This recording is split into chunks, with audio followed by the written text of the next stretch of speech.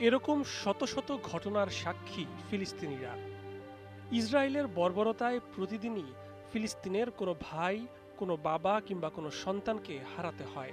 তাদের নিথর দেহ নিয়ে হয় শোক মিছিল, কান্নায় ভেঙে পড়েন স্বজনরা। দিন যায় আর এমন শোকাবহ ঘটনার সংখ্যা শুধু বাড়েই। বিপরীতে ফিলিস্তিনের তুলনায় ইসরায়েলের নাগরিকদের এমন শোকাবহ ঘটনার মুখোমুখি হতে হয় না বললেই চলে। তবে শুক্রবার এমন এক বিরল শোকের মুখোমুখি হতে হলো ইসরায়েলের নাগরিকদেরও। বৃহস্পতিবার পশ্চিম তীরে অবৈধ বসতির কাছে এক ফিলিস্তিনি যোদ্ধার গুলিতে শিলো ইয়োসেফ আমিন নামে এক ইসরায়েলি সেনা নিহত হয়। শুক্রবার তার শেষকৃত্য সম্পন্ন হয়। এ সময় কান্নায় ভেঙে পড়তে দেখা যায় তার স্বজন সহ সহকর্মীদের।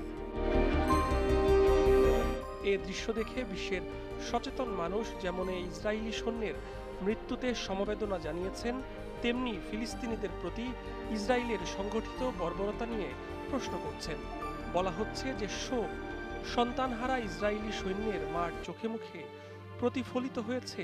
সেই একই ধরনের শোক প্রতিনিয়ত পেতে হচ্ছে ফিলিস্তিনি মা বাবাদের যে সন্তান, সহকর্মীরা প্রতিনিয়ত শোক মিছিল করে ইসরায়েলের সৈন্যের শেষকৃত্য সম্পন্ন করছেন।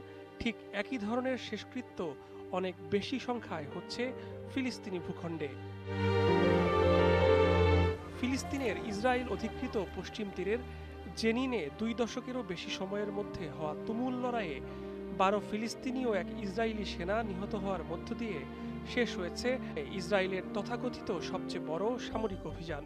সোমবার থেকে চলা ইসরায়েলের দুই দিনের অভিযানে মোট বারো জন ফিলিস্তিনি নিহত হন। এদের মধ্যে চারজনকে নিজেদের যোদ্ধা দাবি করেছে ইসলামিক জিহাদ। হামাসও সংঘর্ষে তাদের এক যোদ্ধা নিহত হয়েছে বলে জানিয়েছে। বাকিদের পরিচয় নিশ্চিত হওয়া যায়নি। এই অভিযানে হাজারেরও বেশি ইসরায়েলি সেনা অংশ নেয়। পরে ফিলিস্তিনি যোদ্ধাদের সঙ্গে ইসরায়েলি সেনাদের লড়াই শুরু হলে তা পরবর্তী দুই দিন ধরে চলে। এ সময় বহু হতাহতের ঘটনা ঘটে ও শরণার্থী শিবিরটির কয়েক হাজার বাসিন্দা পালিয়ে যেতে বাধ্য হন।